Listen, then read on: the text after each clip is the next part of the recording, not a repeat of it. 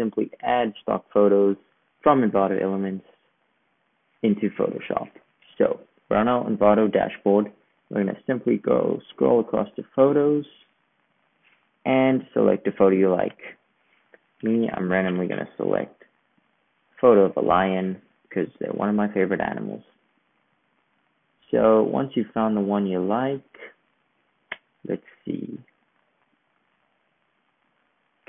select this one. So you simply click on it.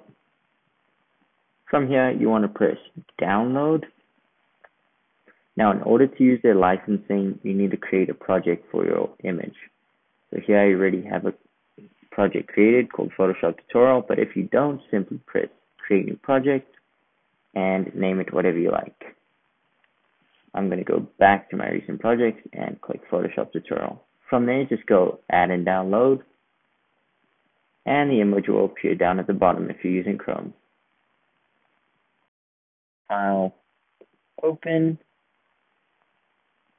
and simply find the image that you saved to your computer. So mine is in desktop, Photoshop, and it is this image here. Now that you're here, you're just going to click open. And there we go. Our image is now in Photoshop. We can do whatever we like if we want to make adjustments. Can do that.